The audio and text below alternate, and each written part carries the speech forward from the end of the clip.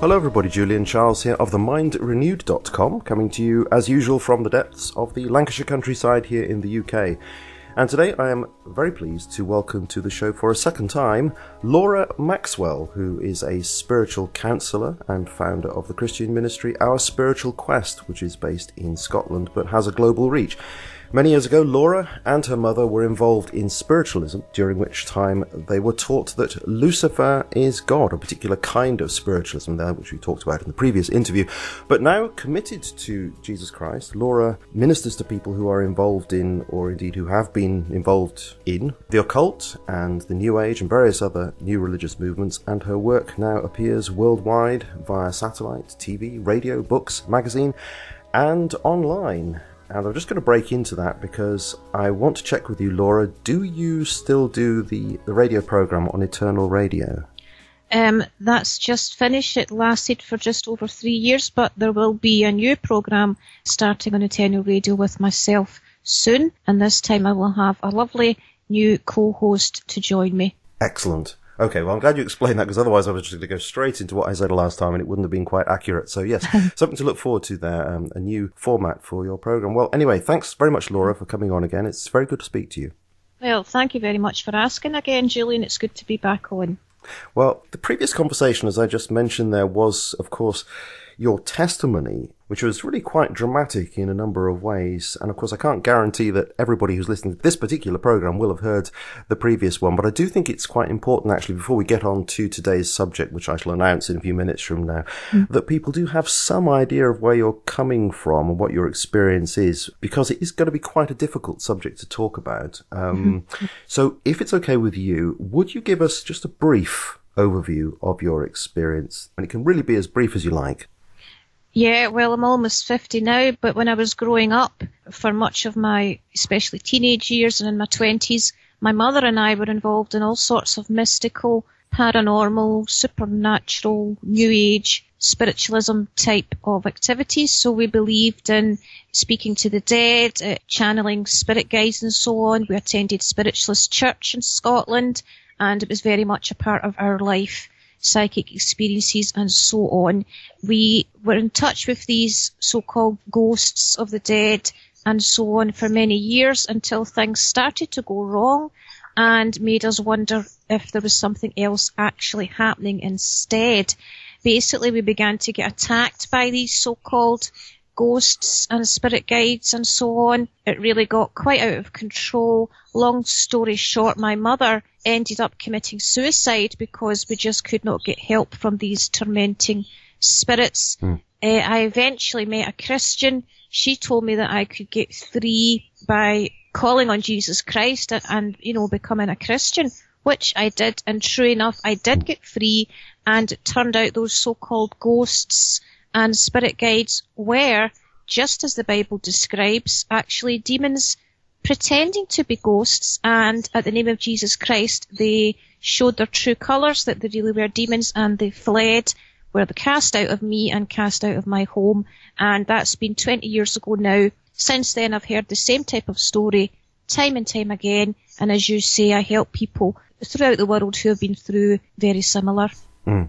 Excellent. Um, and of course, as I said before, I'm going to recommend anybody who's not heard that previous interview, please do go back and hear that because of course there's so much more information in that conversation and we go into quite a lot of detail and asking many questions about what those experiences actually were, how they could be discerned to be indeed spiritual rather than natural experiences. So we went into all that. So I, I do uh, recommend people to, to listen to that particular conversation back in the archives. Now, today's subject, building upon that previous conversation, is, as I think people will have picked up from the title. In fact, as we speak, I don't quite know what the title is going to be, but whatever it is, they will have picked up from the title quite a difficult, quite a sensitive subject that we're going to be talking about. So we're yes. going to be treading quite carefully on this. Anybody who's listened to the Mind Renewed for any time will know that I'm not in the business of being sensational. I'm not dealing with this subject because I want to get people's attention. In fact, to some mm-hmm. extent, quite reluctant. And, and you know this, Laura. I didn't jump at the, the opportunity, did I? I, I, mm-hmm. I wondered quite how and whether this should be a subject of conversation, but I think it is. You persuaded me that this is actually important to talk about. Um, so the subject is sexual encounters with, or the fact that there are people reporting that they believe they have had sexual encounters with what they claim to be ghosts or what they claim to be aliens or spirits, whatever they might call them. And that may seem very, very odd. It seems very, very odd to me, but there are people who are reporting this. And they have been for very many years, as our conversation will make clear. That's the subject today. Now, you alerted me to this, so I'm going to ask you this first question. Why does this especially bother you, Laura? Isn't it something that can just be left to these sort of peculiar corners of, of human life? Why are you wanting to address this at all? Well, you know, Julian, you, you echo my own thoughts for quite some time. I was reluctant to talk about it too, hmm. very resistant to it. When I did feel God was nudging me to talk about it, I really was not looking forward to it at all. I was uh, afraid people might think I was being a sensationalist. Yes. Uh, but I looked into it more and I realised that there really is very few Christians talking about this and kind of similar to my own background and so on. I feel that because it is such a real phenomena that quite frankly people do need to be informed a little more about it because it is dangerous and, and many people are badly affected by it and actually we need to know a little bit about it just so that we can help others when they tell us about this. So I think this is maybe the fourth or fifth interview I, have done on this topic, and you know, like yourself, the other hosts felt, yes, it's a very, very delicate subject, but you know, we kind of do need to talk about this actually. Mm. Okay, so if we start this from just a technical point of view, um, I think that's quite an important thing to do. Mm. We're not trying to be sensational about this whatsoever. So this, I understand, this does appear under the phenomena of spectrophilia. Mm-hmm. Strange name. Uh, one of the paraphilias, one of the unusual expressions of human sexuality. That's just a, a way of classifying it. Now, I get the impression from what you have said in previous interviews that when people claim that they've had an experience with a ghost or an alien, you would dispute that. And if there is any kind of supernatural thing going on, you would say that it's not a ghost, it's not an alien, it is in fact an evil spirit. Do you want to tell us what you mean by an evil spirit and on why they would present themselves in such a way that people would say, oh yes, it's a ghost, or yes, it's an alien? Sure. And I think it's important for me to emphasize that, you know, when I talk about this, I'm not in any way judging people who are involved in this. You know, I, I used to be a spiritualist myself. My mother, she was a practicing medium and she actually claimed to have had sex with spirits. In fact, she claimed to even have been raped by them. So, you know, I, am not pointing the finger, I'm not judging, mm. I, I'm just sharing the insights I have gained about it and from what the Bible shows because I, I now am a Christian. And basically, you know, even people who don't believe the Bible, if we put that aside for a moment and just look at it from the, the kind of experience myself and many others have had, one of the very key and interesting factors is that many times when people are approached by a so-called ghost or spirit or spirit guide or alien, and especially if they're actually attacked by it or sexually assaulted by it, if they actually cry out on Jesus Christ, the very saying the name of Jesus Christ actually any of these entities reacts to and very often quite violently and leaves, just vanishes. So that in itself, um, that anecdote in itself would imply that these are not just merely dead people or spirit guides, um, and that the name of Jesus Christ does make them leave, and that the Bible does say that any of these types of spirits are actually known as demons or fallen angels, which are basically evil spirits that are under the control of Satan that can transform themselves into looking like the ghost of your dead gran or, or a spirit guide or an alien. And because they have all this psychic information, as it were, they can perfectly impersonate your dead gran. They know all about her life and so on, and they can be extremely convincing. So that's what I believe is happening there. Mm. Uh, there's one case which may come up later in our conversation, has been in the news in the last few months, where a lady said that she went to a, an old house in Aberystwyth, I think it was, and uh, she saw this picture on the wall of a very handsome young man from the early 19th century. And obviously she was very enamored by this picture. And anyway, she claims that she had some kind of sexual experience with the ghost of this man subsequent to seeing that picture. So from what you've just said there, presumably you would believe if there was some kind of supernatural thing going on there, it would have been the evil spirit taking that information mm. that she was enamored by this picture and impersonating that individual in order to mm-hmm. get into her life, as it were, and affect her. Absolutely. And you know, these demons, these evil spirits, as I say, they have what you could call psychic information. They're able to tap into information within a local area because there is that spiritual network, if you like, of the demonic. Um, they can communicate with each other and pass on information and so on. And the person who they are appearing to, they can get information about that person. And that's why they're able to be extremely convincing and why many people do believe that they are in touch with these so-called ghosts or spirit guides. Okay, well, let's move on then to the kinds of phenomena that are claimed. Now, no doubt this will be vastly broad because human beings are very different and have different experiences. But the kinds of things that you alerted me to, and I've looked at the links that you sent to me, various experiences which are like sexual encounters, normal human sexual encounters, but in some ways they're different. They don't quite fit with that normal description. So could you give me, could you give the, the audience, you know, some kind of idea of what kinds of things are reported, what kinds of experiences and sensations are reported by people? Yes, well, oftentimes it can begin in the form of dreams when the person is totally asleep and the dream can seem really quite vivid and quite real. And that seems natural enough, and nobody would really suspect anything strange was going on there. But then often it progresses to where when the person is coming out of sleep or just going into sleep, they literally feel the presence of someone in the room. They may see a, a figure of a shadow and literally feel the bed clothes move, their clothes move and feel pressure on their body feel a, a strange energy in the room and literally feel as if yes, someone is there and actually touching them and beginning to have sex with them. Um, but often they'll say it doesn't quite feel as real as a human partner. Hmm. Um, it feels more soft and yet still an energy and etc. etc. But it is very real and they will say that many times.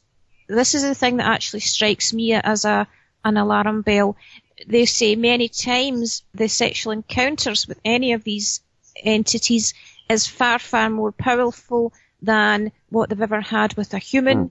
Mm. Straight away, that would make me question the true identity of this so-called spirit. Because why should a human being, once they're dead and, you know, apparently coming back as a ghost, why should it suddenly mean they have a better sexual hmm. performance? To me, that, that just shows you that hey, wait a minute, there's something quite supernatural going on here. Mm. So, so yeah. Uh-huh. Right, yeah, I, I see what you mean, um, but it could point in two different directions. I mean, there's a possibility here that we are dealing with something entirely psychological if I go to the case, and I've just found the lady's name here, Sian Jameson, this is the lady who claims that she had this sexual encounter with this 19th century man. This is from Wales Online, December 2017, it was reported. Mm-hmm. She was in Aberystwyth.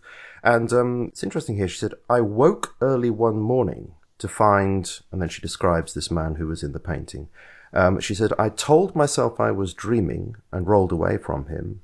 And then she says, I slowly realized I wasn't asleep and then she describes, I felt a hand on my waist, but the touch was strange. Okay, so the, the kind of thing that you've just described there. But now, mm-hmm. she says I woke early one morning and I told myself I wasn't dreaming. That suggests then that it is actually coming out of sleep, not really fully awake.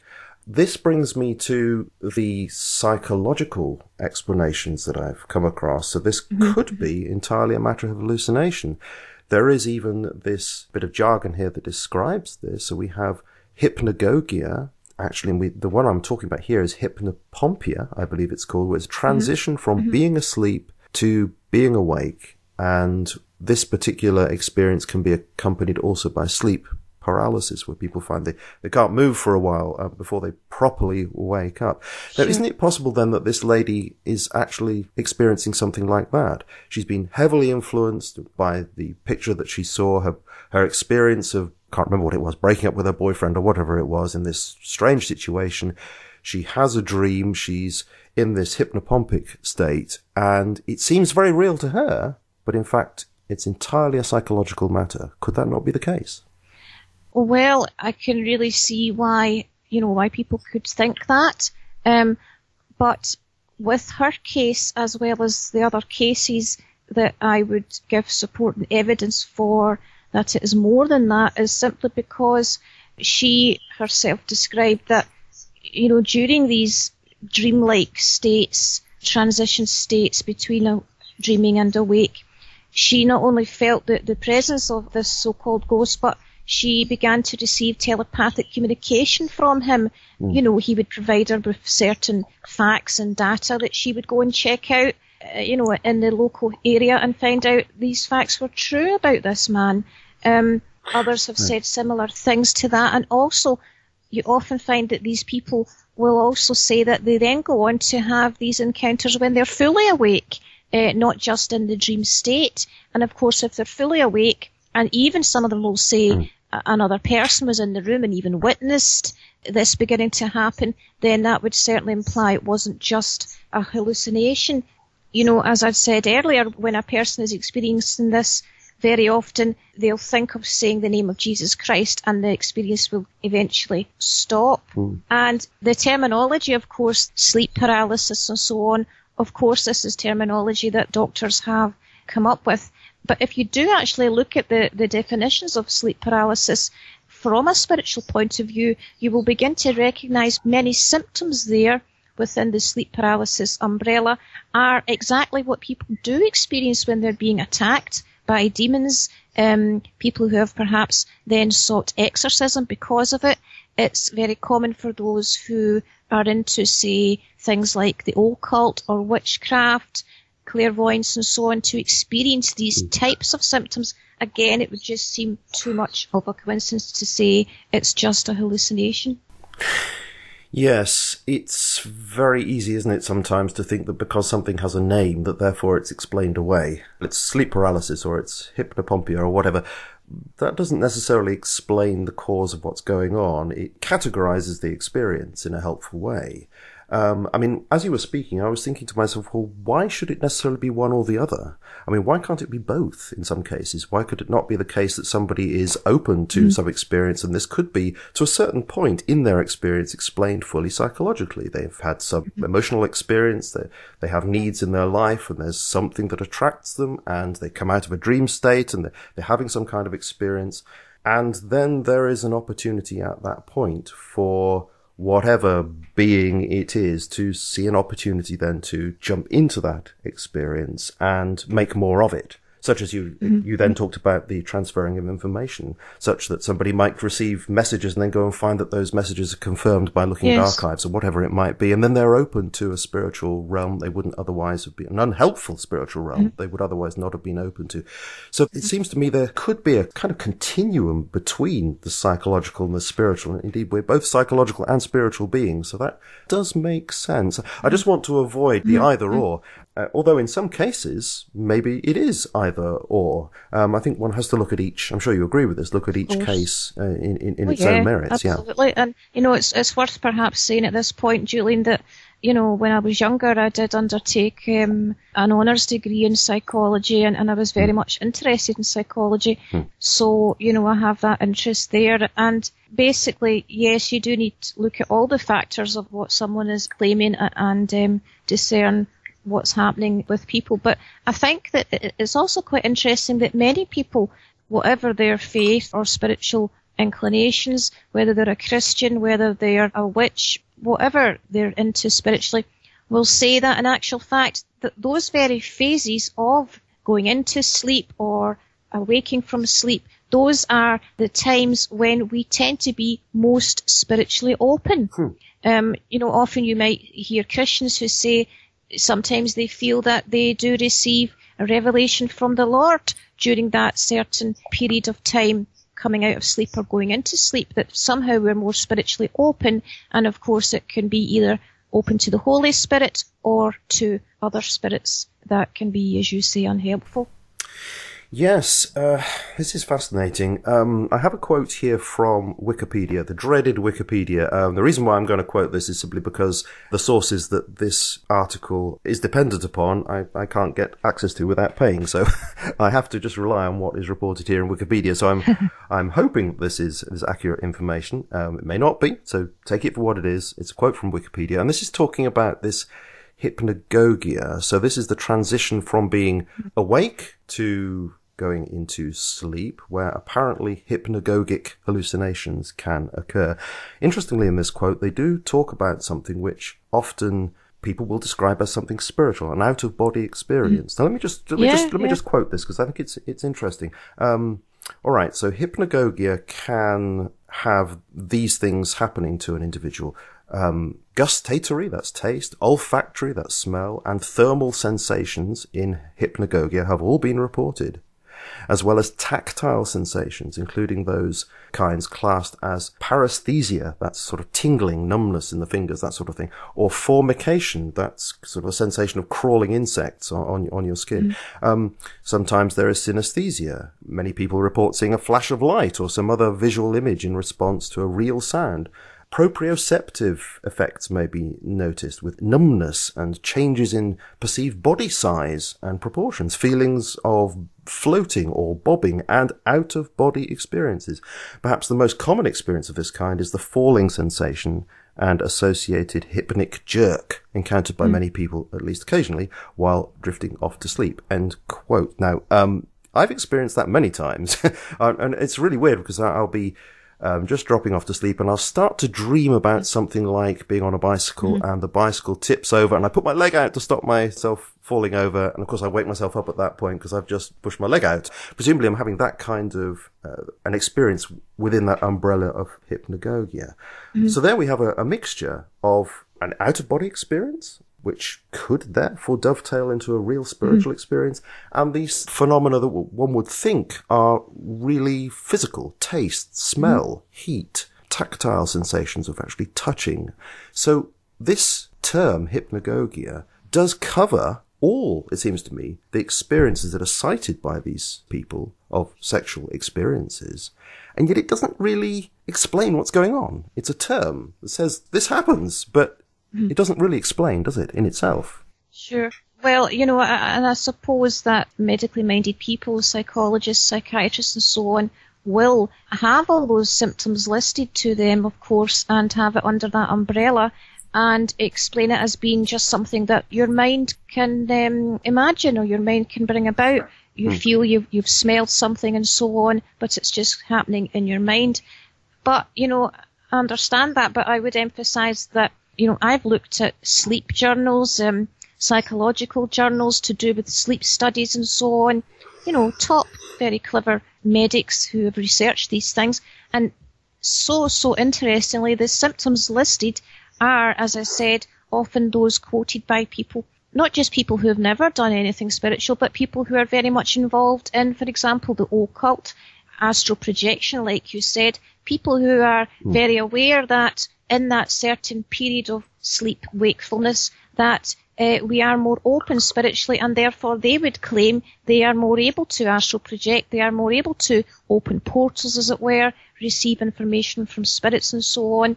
And if we do look at this even cross culturally and down through the generations, um, we'll see that people like shamans and, and so on from around the world will have reported these things too. It is hmm. not a new phenomena at all. You know, some people again may just, you know, say, well, isn't it just a hallucination?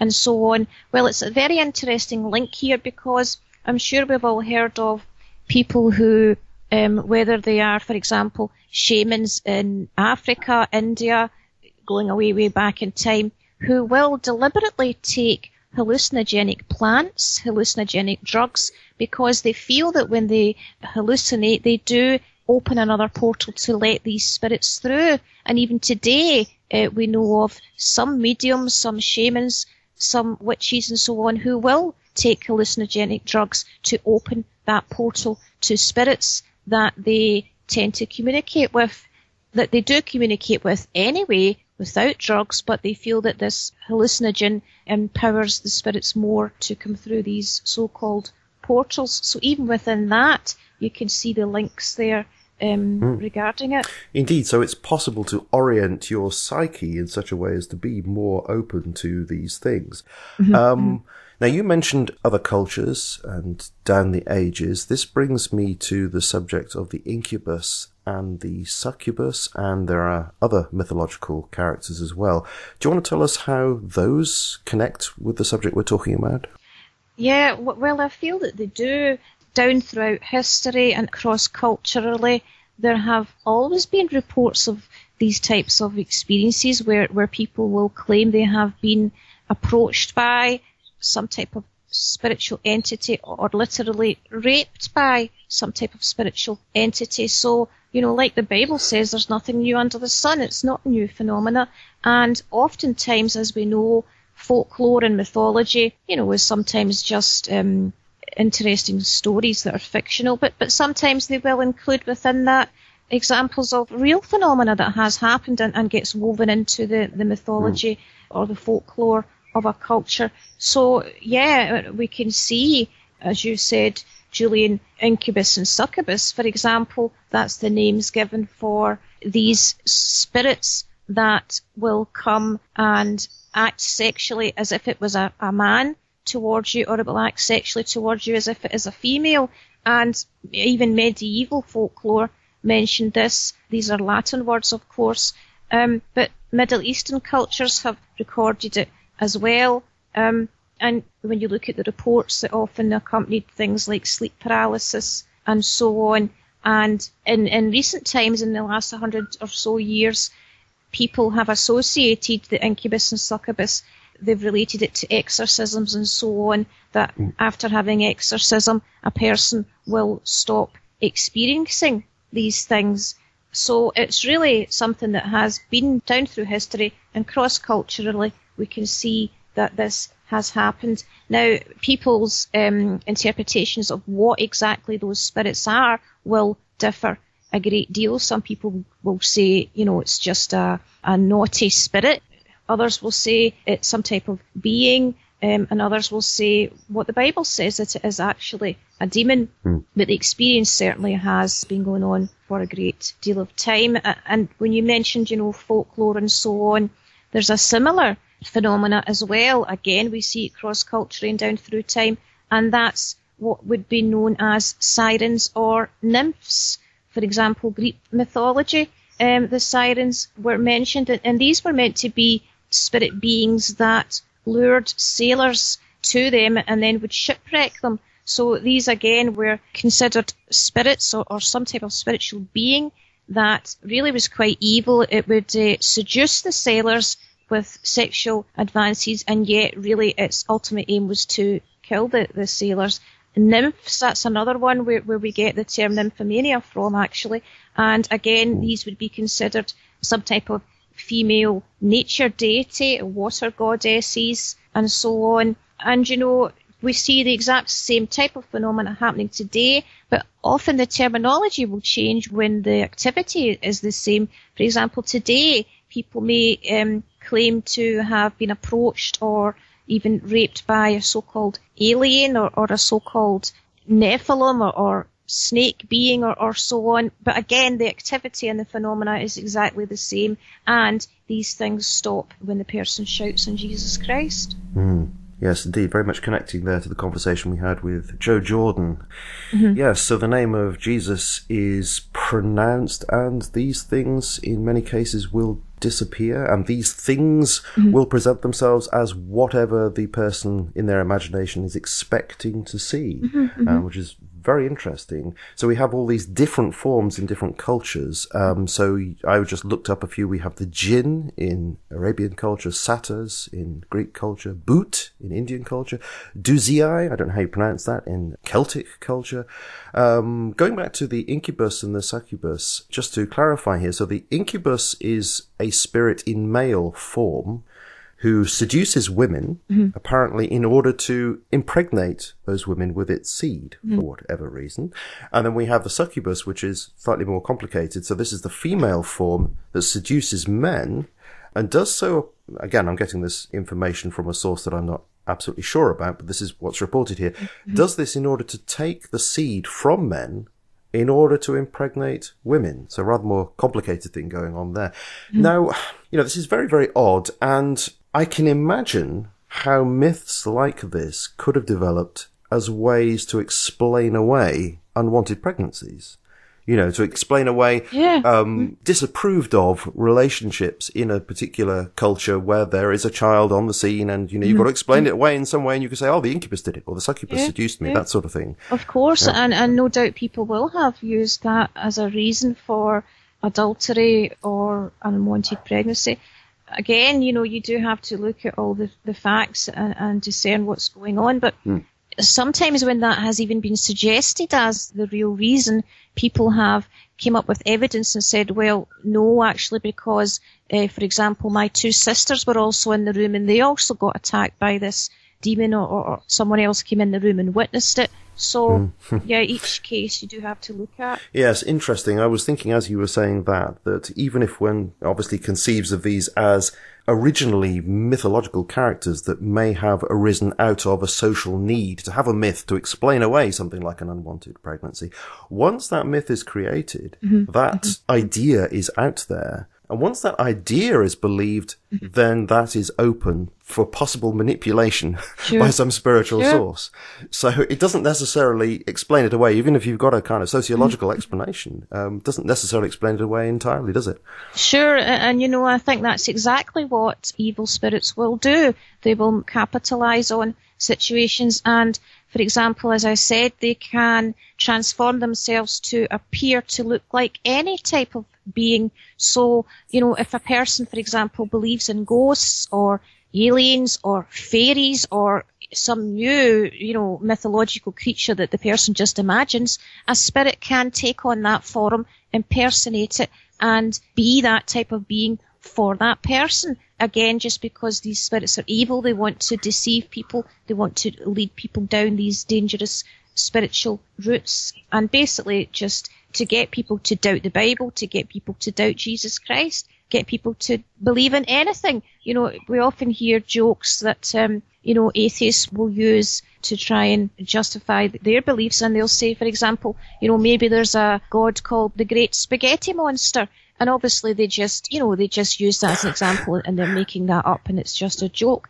But, you know, I wouldn't be surprised if someone out there decides maybe there is a great god spaghetti monster and, and starts to pray to it. And you know, I would not be surprised at all if an entity appeared in their room looking like a great spaghetti god, and, and, the person then believes it all the more because they would appear to have this evidence when in fact it is just a spirit masquerading as if it is that actual entity. That would be wonderfully ironic in a way if that sort of thing were to happen. Wouldn't it? Um, okay, well, we could say surely that many of these cases which come out in the media and which are therefore high profile are there essentially for gaining attention. They're lies. People are trying to make a name for mm. themselves. They're trying to get interviews and sell books and become a celebrity. Can't we explain a lot of it away that way?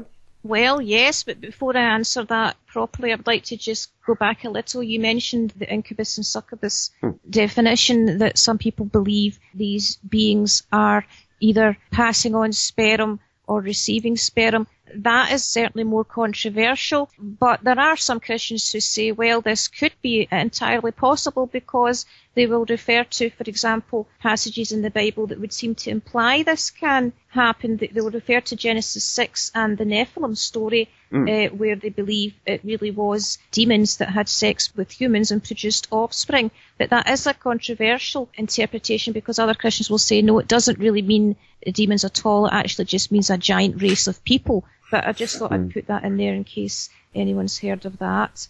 Um, yes, certainly that needs to be mentioned in, in the conversation. Um, my position, which long-time listeners will know, is that is a very difficult passage, a very obscure passage to interpret. Um, Yes. I've I've talked about that a couple of times before in the podcast. So I won't go into any Mm-hmm. detail about that, but I'm I'm not inclined to go with the kind Sure, of interpretation that you've just mentioned there. Although I do understand that other people do have different Mm-hmm. views on that. Um, I share that. I share that view, Julian. I, I tend to think it does just mean giant people rather than giant, i.e., demons. Right. Yeah. Well, I'm actually. Yeah, I don't really want to get into the subject in itself because No, it will, you know, go off at a tangent. But um, Sure. my question is really an interpretive one as to, or rather a hermeneutical one as to quite how we're supposed to read that text, to what extent we're supposed to understand that to be talking about actual history. To what extent it is polemical, using materials from other cultures in order to make polemical points against those cultures in contradistinction to the work of God Yeah, within yeah. within his own people. So you know there are lots of questions like that. So um, I tend to avoid that one because it is so controversial. I have so many questions in my own mind about I it. do too. Yeah. so getting back to this question about lies, don't you think that a lot of the high profile stuff is a bunch of lies? Well, um, again, I would say, you know, like yourself, we should look at all angles of something, not just believe whatever's reported. And no doubt there will have been some people who have lied or just had a, a nightmare and imagined it. Um, but again, I would say look at the stories that are reported by, for example, movie stars and singers who have reported these things. Look at the symptoms that they're listing, and you will always see, for those cases that are genuine, you will always see a trend there which ticks the boxes showing you that this is a spiritual phenomena. And often the person themselves will happen to mention that they are into things like New Age or spiritualism or the esoteric, hmm. mystical things, or that even if they're not, that their parents were, for example, hmm. or their grandparents were, or their flatmate is. And oftentimes, as we know, the Bible will say, you know, people can experience spiritual things simply because their great grandparents were involved in something like that, and it's a hmm. what the Bible calls a curse that comes down the generations. So yeah, I would look at each story and assess it. Yeah, but that makes me wonder whether, let's just say you are somebody in public life and your career is, well, it's a bit mediocre at the mm-hmm. moment, so you need to sort of spice it up a little bit. And okay, you're into the new age, you're into the occult, or, and, and so therefore you, you know about this terminology. You, you've heard about people having these experiences and you think, hey, if I say something like that, then yeah, that will get me more talk shows and I'll perhaps write a few books about it and my, my career will improve as a consequence of that. Yeah, well, well, maybe some of them do, and um, Yeah. uh, you know, who Yeah. knows if, if someone's lying or, or telling the truth? But I guess that's between them and God. Sure. you know. Yeah, I'm not saying this. This is just something that explains everything away. I'm just Sure, no, I do. uh, Yeah, just wonder about these people who have become high-profile cases about it. I do think that in itself somehow makes me wonder: why do you want to get on TV and talk about this? Are you after your 15 minutes of fame? And, um, let me just go to this case here of. Uh, Could be, but could I also say, Julian, that, you know, going back to my own experience when I was a spiritualist and I was into New Age, that um, when you do believe in these things, you know, you, you think it's a good thing to be communicating with spirit guides and, and ghosts and so on, and you feel your life has improved from it, so you want to let others know about it. And some of these people who have went on TV or, or, or spoken to the media, the tabloids and so on, will admit it's because they themselves are a spiritualist medium. They do tend to work with ghosts anyway, and that they just want to educate the public that this is a real phenomena.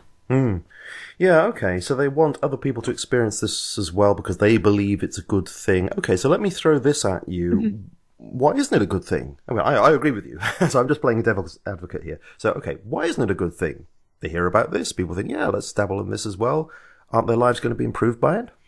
Um, well, there was a woman also at, at the end of last year who was on uh, this morning program in the UK, which obviously is watched by you know people right across the UK. It went on to YouTube and the internet. It was picked up by many of the papers and magazines, not just in the UK but around the world. And she did say that she was a, a medium. Um, her name was Amethyst Realm, and she said that she had had 20 different ghost lovers through the years and that she preferred having these sexual relationships with ghosts rather than alive uh, men this to her was an option, you know, a good option, and that she wanted to go that way. And so people might argue, well, why not? You know, let her do that. What difference does it make? She's got a right to have sex with who she wants to.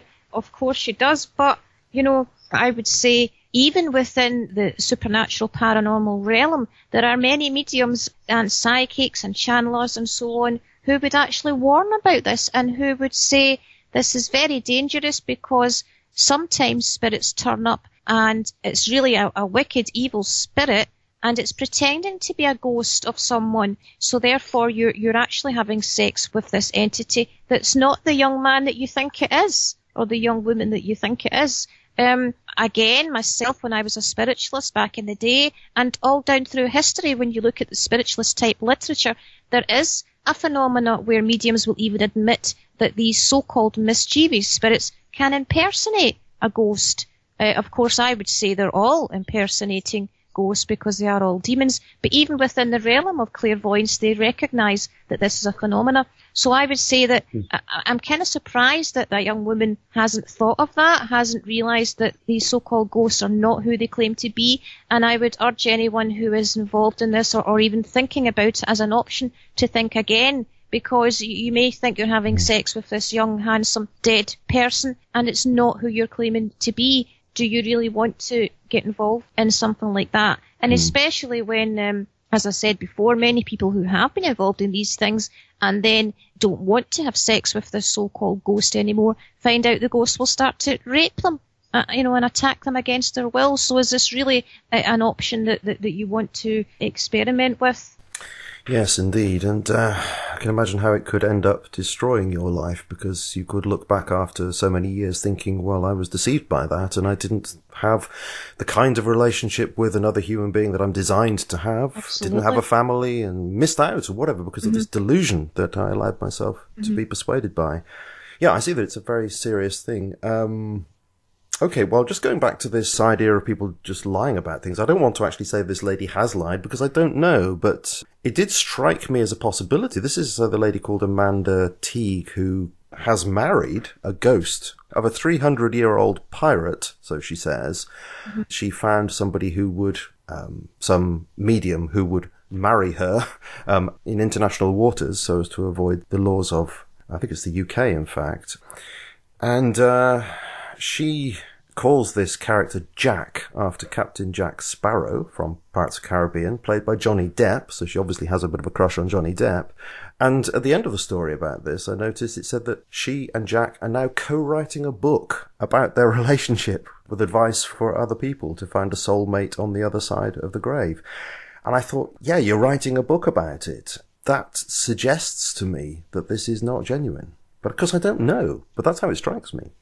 Well, I can see why you you would think that, Julian, but she actually struck me as being very genuine in what she was saying. Right. I just feel because she was saying that she was a medium, hmm. you know, so she was used to talking with ghosts.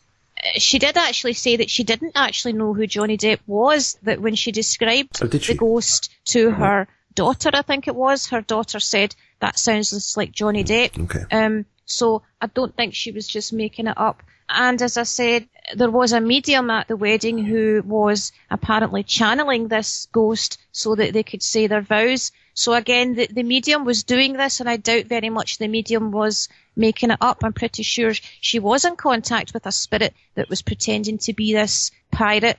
Um, mm. the story to me just sounds like she's genuinely as a medium who wants to spread the message of clairvoyance and the message of relationships with ghosts, and that's why she's writing a book. You know, when I was a spiritualist, I had ambitions to write books about the phenomena, and it is a common thing that mediums will want to spread their message. I know we can never be completely sure about someone, but I happen to believe that, that, that the woman genuinely had experienced those things.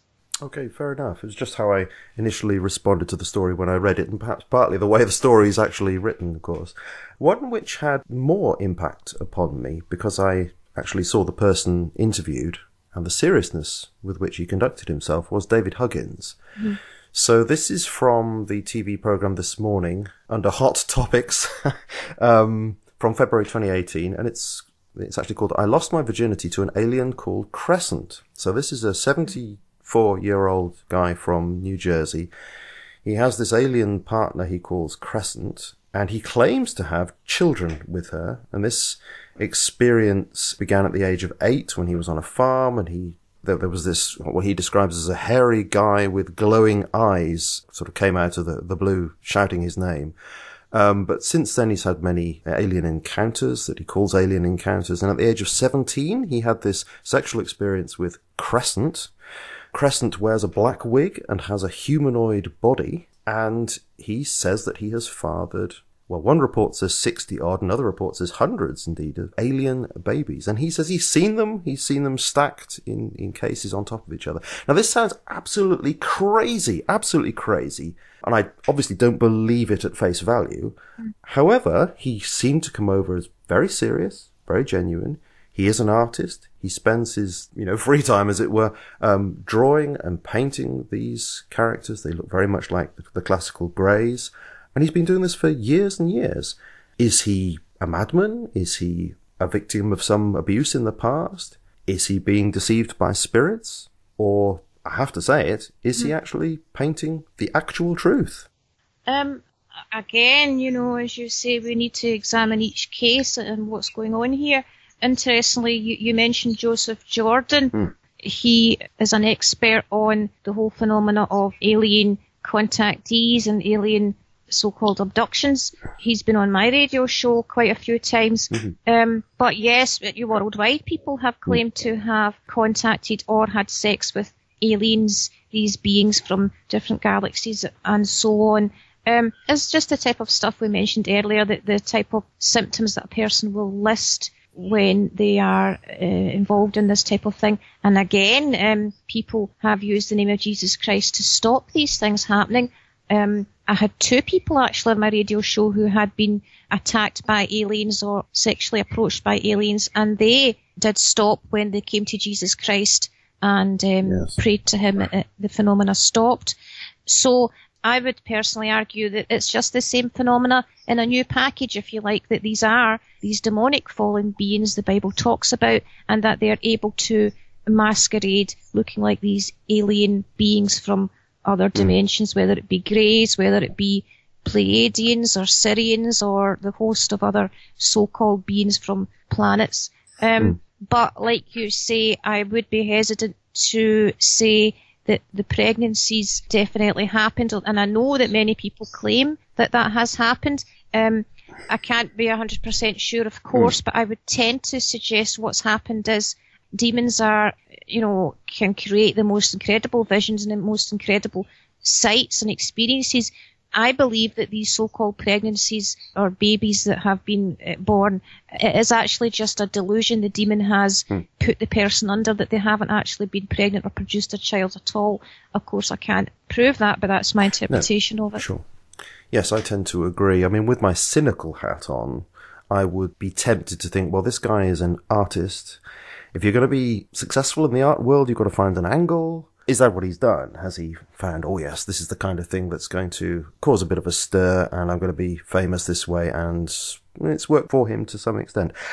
But again, he doesn't come over that way. I mean, you'd have to be incredibly cynical to do something like that, and mm-hmm. he just doesn't come over that way. So my tendency is to agree with you that he is genuinely experiencing something and most plausibly, we would both agree, being Christian theists, that you know, this is some spirit or collection of spirits that are antagonistic towards God's purposes, who are creating these visions in this man, and mm-hmm. as a consequence, probably distracting him from what he should be experiencing, which is a loving, living relationship with the God who is there. And I presume he's not. I mean, I don't know anything about him beyond mm-hmm. what's reported, but his life seems to be obsessed with mm-hmm. this experience. I would agree with you there, Julian, and I do feel that again, when you look at any of these um, experiences that people have had, one of the, the features that, that can be quite common across the range of experiences is that whatever the entity is claiming to be,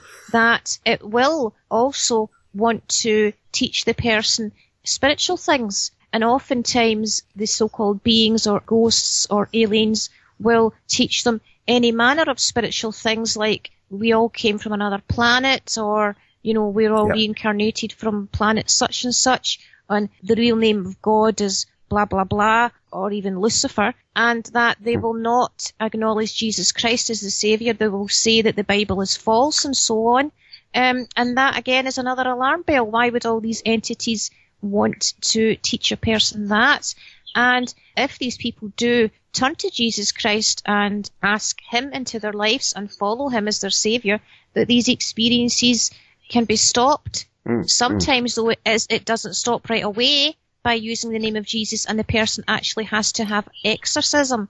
Um, and after that, the experiences stop. And again, as you say, I believe it's just a, a distraction. These false deities, false gods, and so on is just a distraction to make people doubt the Bible, doubt Jesus Christ, and therefore not come into that loving, mm. eternal mm. relationship with Him. That certainly does make sense. But my last question to you has to be okay, I can see that this is serious for people who are involved in it, but is it really worth talking about it to the length that you do talk about it? You say this is your fourth or fifth interview about it, because I mean, are really many people going to be interested in this? I mean, it's out there, it's on the internet, it's on TV mm. shows, but are people really going to be attracted to this? Because it's pretty way out, it's a pretty bizarre thing mm-hmm. in many people's minds, I should think it would just be laughable. Yeah, and many people will laugh at it and totally disregard it. But I think specifically because in recent years, well, you know, even from the 80s up to currently, we do see an increase in the amount of celebrities who are willing to talk about this, whether that's Hollywood actors and actresses or, or singers and so on. Uh, you know, and very often people will listen to what they have to say, especially um, teenagers, for example. And there is indeed shockingly quite a range of websites out there that actually teach how to have sex with ghosts or aliens, oh, spectrophilia as it's called, and how to summon um, these entities. So it has become, I would say, an option for people, you know, exploring their sexuality, uh, so on. Why not try this? And the fact that there are so many websites about it would would certainly imply to me your average person might not know about it. Many people might not even admit to doing it, but that behind closed doors, people are online and um, trying this out because it has become an option. Mm-hmm. And I can imagine how this could be hugely destructive mm-hmm. to people who do get involved in this on, on a number of levels. I don't think we need to spell out what those could be. It seems pretty obvious to me that this could be very, very destructive for mm-hmm. people, even if it's just a few people getting involved. But of course, if you, you suggest if there are many websites out there, probably there are quite a lot of people getting involved in this, even if in terms of the percentage of the population, it's very small. Um, so I think it is worth talking mm-hmm. about it. And I, you know, I, you know, it is so easy to think that this was too taboo. We shouldn't be talking about this. Sure. Um, we started the conversation saying we didn't want to be mm-hmm. sensationalist, and we, we don't. And I hope that people have understood that throughout the conversation we are concerned about this. We're trying to understand what's going on and to warn people about getting involved in this kind of thing because whatever is going on, it's not healthy, it's not helpful, no. and there could be a very dark side to this in some cases. So it's, you know, leave well alone because God is there and wants to have this relationship with us and wants us, of course, to, to live according to the design plan that yes. God has put in place, which is that we should have relationships with other human beings, you know, in, in the obvious way that we're designed to be. So thank you, Laura. Um, I know there's something you want to say, um, so I'm going to let you say that before I actually close off. Go on. What did you want to say? yeah, I would, you know, recommend if anyone has experienced this or knows of someone who's experienced mm. it and wants to be free to check out. There's a couple of websites you mentioned yourself, Julian, Joseph Jordan mm. and Guy Malone, mm. and their website is at alienresistance.org. And there's also a video and a book by Chris White that's called Sleep Paralysis, What It Is and How to Stop It. Now, um, although that's the title, the facts given there on how to stop it applies to any type of uh, spiritual attack, you know, including this, this uh, phenomena. Yes, indeed. Yes, I've learned something in, indeed from Chris White's ministry in that area. Uh, mm-hmm. Uh, that's a very good source indeed, as indeed the other sources are that you mentioned there. Actually, I've just thought of one question that I must ask you before we close in cases where people they know of people who are involved in this sort of thing how on earth do you go about helping somebody in that situation? It's such a delicate issue, isn't it? Mm-hmm. Well, I would tend to say to suggest to them testimonies of people who have been through it and who have discovered it was not really a ghost, but was actually a demon masquerading. Mm. And, for example, the websites that, that I listed and how the person yeah. got free from it, how they found out it wasn't really a ghost. And they might not believe the Bible interpretation at first, but I think when they hear how a person's life can be so transformed they may reconsider. My own mother, for example, as I say, she was a spiritualist medium and she committed suicide because she did not get free mm. of being raped by so-called ghosts and so on. Um, but of course, I found Jesus yeah. Christ and I did get set free from that type of thing.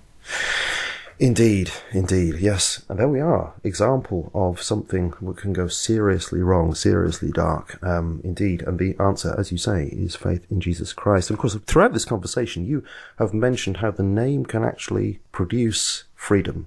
And this is something that Joe said time and again. People think, well, these are aliens, but funnily enough, it's the name of Jesus that can actually produce this freedom from this experience. I think that, that's, I've certainly found that very persuasive myself that there's something spiritual going on yes. in, in, many of these cases. Anyway, as I said before, thank you ever so much, Laura, for coming on this second time. It's been a fascinating conversation, a difficult one. Um, didn't know quite how I was going to navigate this one, but yes. I, I, think we've we've done okay with it, and I think people understand what we're trying to do here.